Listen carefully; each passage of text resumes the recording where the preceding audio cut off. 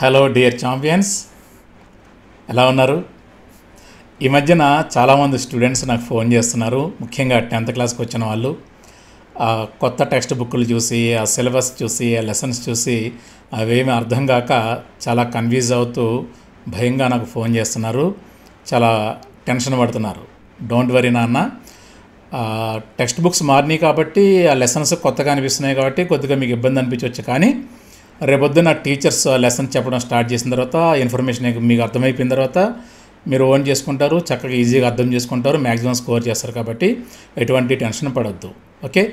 మరి నా తరపున నేనేం చేస్తున్నానంటే ఈ లెసన్స్లో ఎవరి పేజ్ తీసుకుని ఆ పేజీలో ఏ ఇన్ఫర్మేషన్ ఉంది వాటిలోంచి ఏ క్వశ్చన్స్ ఎలా అడగవచ్చు నేను గెస్ట్ చేస్తూ పాత మోడల్స్ తీసుకుని ఆ విధంగా నోట్స్ని ప్రిపేర్ ప్రిపేర్ చేస్తున్నాను. ఆ నోట్స్ని మన యూట్యూబ్లో అప్లోడ్ చేస్తున్నాను వీడియోల రూపంలో. కాబట్టి మీరు చక్కగా ఆ వీడియోస్ చూస్తూ నోట్స్ రాసుకుంటూ మీ డౌట్ వచ్చిన ప్రతి క్వశ్చన్కి ఇందులో ఆన్సర్ వెతుక్కుంటూ చక్కగా వందకు వంద శాతం మార్క్స్ని ఈజీగా మీరు స్కోర్ చేయొచ్చు. కాబట్టి టెన్షన్ పడకుండా హ్యాపీగా చదువుకోండి. అలాగే ఈ వీడియోస్ని మీ ఫ్రెండ్స్ తోటి క్లాస్మేట్స్ తోటి షేర్ చేసుకోండి. వాళ్ళకు కూడా హెల్ప్ అవుతుంది. Okay? Thank you very much. లల్లా లల్లా.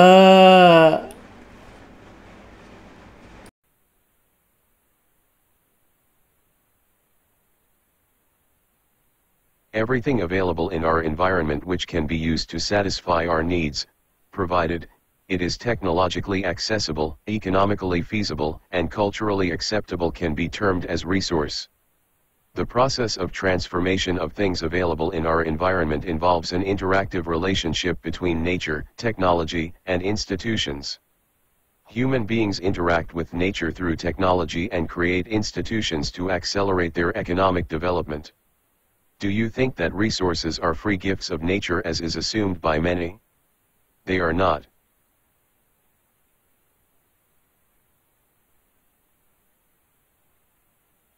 Resources are a function of human activities.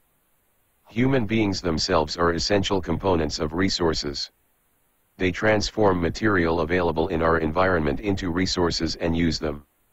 These resources can be classified in the following ways. A. On the basis of origin, biotic and abiotic. B.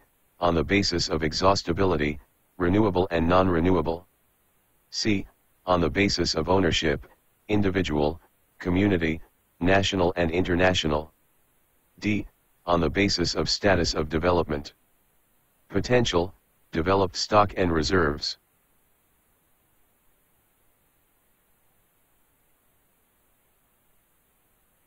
Classification of resources.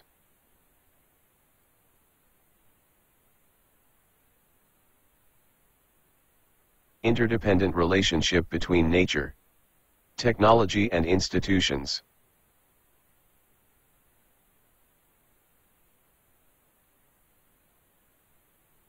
Questions from first page of the lesson. What do you understand by resource?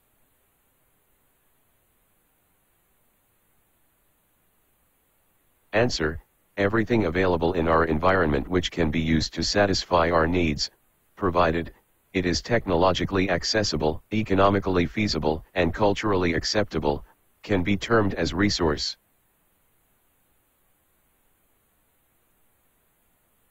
Explain the interdependent relationship between nature, technology, and institutions. Answer, the process of transformation of things available in our environment involves an interactive relationship between nature, technology, and institutions. Human beings interact with nature through technology and create institutions to accelerate their economic development.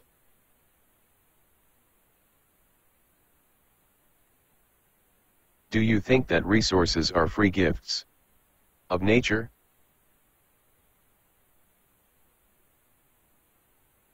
Answer, no. The resources are not free gifts of nature.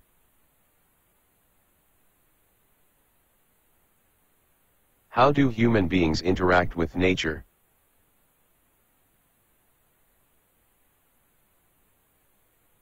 Answer, human beings interact with nature through technology and create institutions to accelerate their economic development. What is meant by resource? Mention the four bases to classify the resources. Answer 1. Resource Everything available in our environment which can be used to satisfy our needs provided it is technologically accessible, economically feasible, and culturally acceptable can be termed as resource.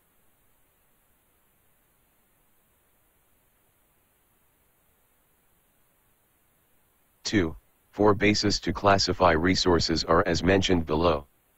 A. On the basis of origin biotic and abiotic. B. On the basis of exhaustibility renewable and non-renewable. C on the basis of ownership individual, community, national and international. D. On the basis of status of development, potential, developed stock and reserves.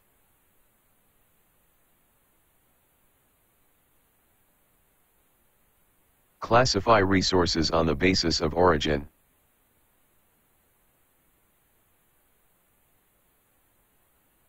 Answer Resources classification on the basis of origin.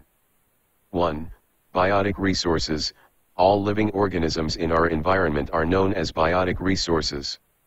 Example, tree, animal, insects etc. 2. Abiotic resources. All non-living present in our environment are known as abiotic resources.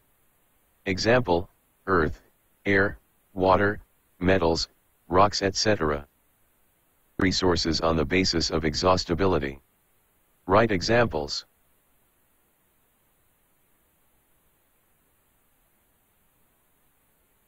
Answer.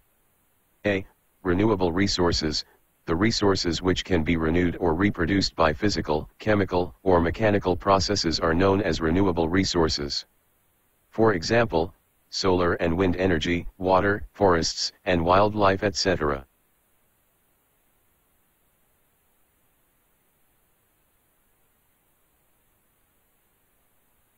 b. Non-renewable resources, these occur over a very long geological time. Minerals natural and fossil fuels are examples of such resources. These resources take millions of years in their formation. For example, the resources like metals are recyclable and some like fossil fuels cannot be recycled and get exhausted with their use.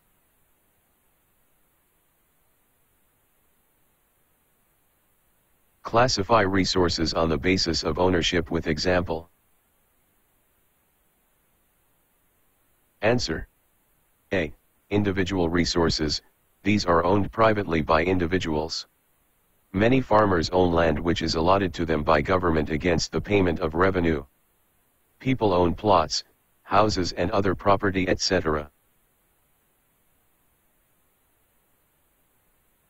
B.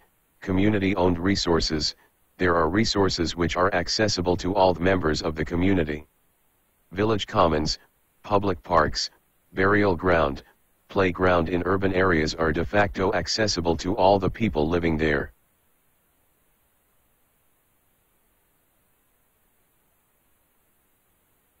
C. National resources, all the resources belong to the nation. The country has legal power to acquire even private property for public good. We have seen roads, canals, railways being constructed on fields owned by some individuals. Urban development authorities get empowered by the government to acquire land.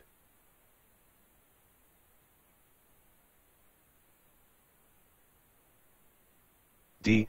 International resources, there are international institutions which regulate some resources. The oceanic resources beyond 200 kilometers of the exclusive economic zone belong to open ocean and no individual country can utilize these without the concurrence of international institutions.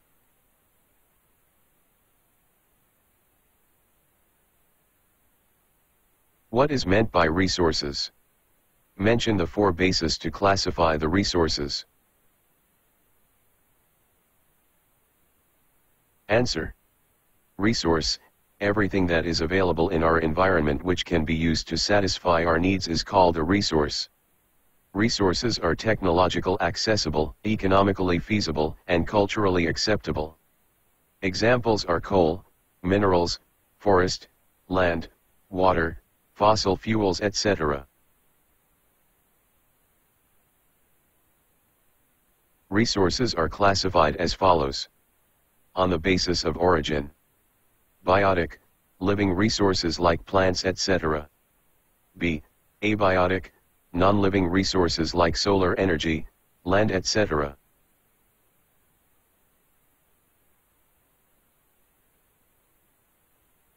Two, on the basis of exhaustibility. A. Renewable, which can be recreated like solar energy etc. B. Non-renewable, which cannot be recreated like fossil fuels.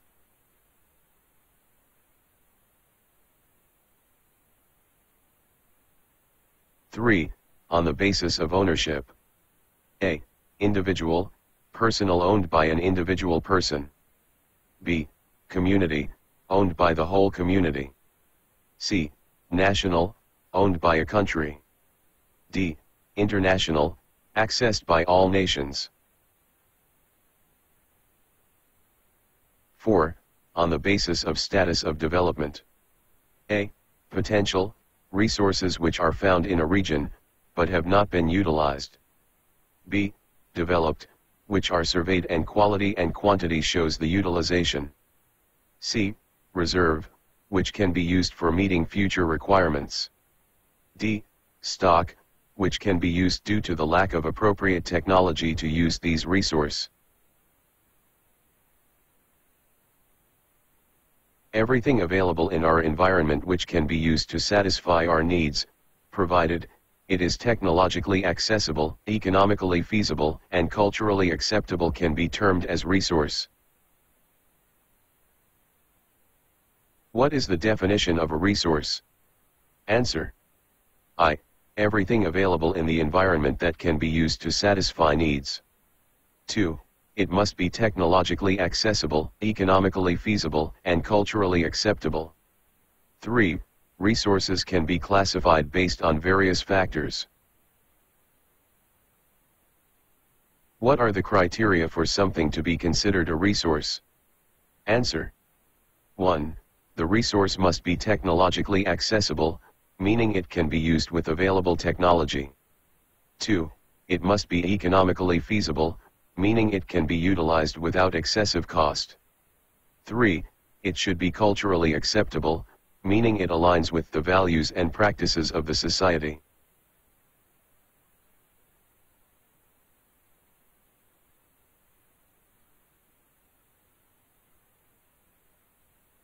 Can anything in the environment be considered a resource? Answer. Yes, anything in the environment that fulfills the criteria of being technologically accessible, economically feasible, and culturally acceptable can be termed as a resource.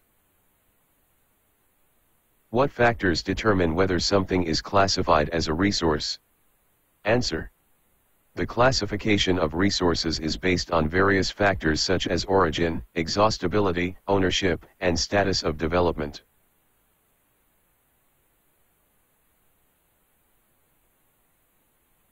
What do you understand by international resources? Give example. Answer 1. These resources are regulated by international institutions. 2. Examples are the oceanic resources beyond 200 kilometers of the exclusive economic zone belong to open ocean and no individual country can utilize there without the concurrence of international institutions.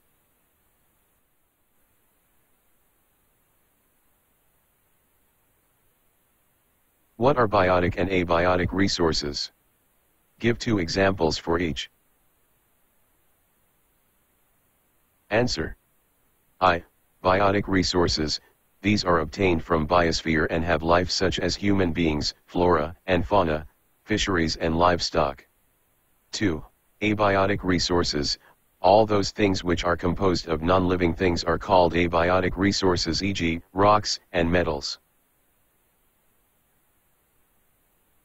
Which one of the following type of Resource is iron ore? A. Renewable B. Biotic C. Flow D. Non-renewable. Answer, D. Non-renewable.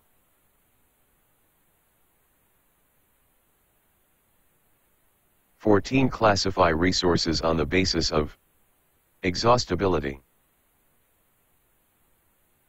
Answer, renewable and non-renewable resources. Classify resources on the basis of development.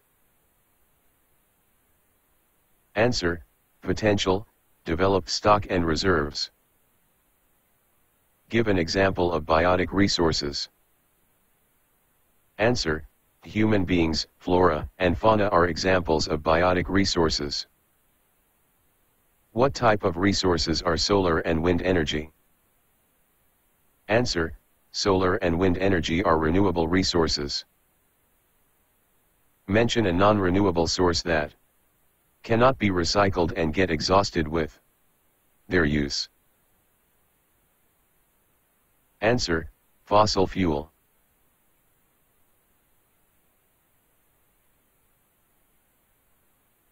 Resources that take long geological time for their formation are called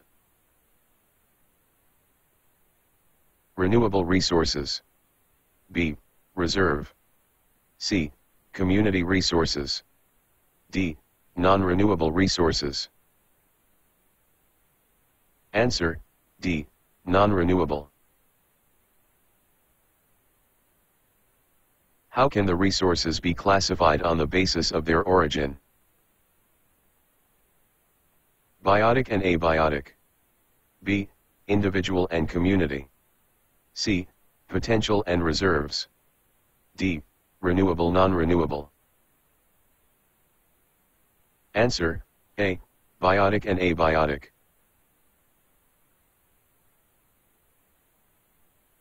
Which one of the following is a biotic resource? Land. B. Water. C. Human beings. D. Rocks. Answer, C. Human beings. Resources which are found in a region but have not been utilized are called A. Developed resources. B. Stock. C. International resources. D. Potential resources. Answer, D. Potential resources.